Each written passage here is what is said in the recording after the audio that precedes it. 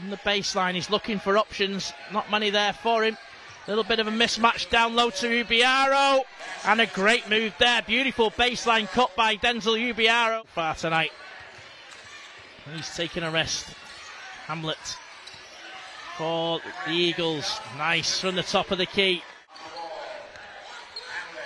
Could have a big bearing on the Newcastle Eagles season there. They've got still them to play in a couple of weeks as well. And Coach Thomas calls for a timeout. He needs to get this team steadied again as Hamlet with the long two. A slap out by Hamlet to Kennedy. Hamlet drives in and just dishes it in, lays it in.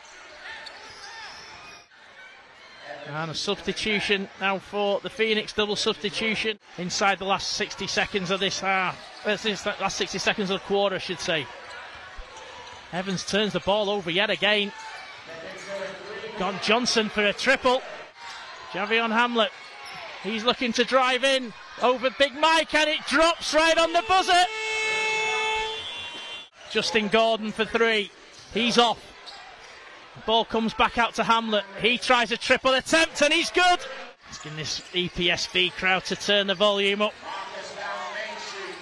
Oh, and Marcus Evans turns it over. Gives it to Hamlet. Hamlet he's in.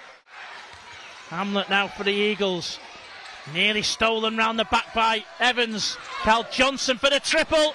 That's good over Lostin Junior.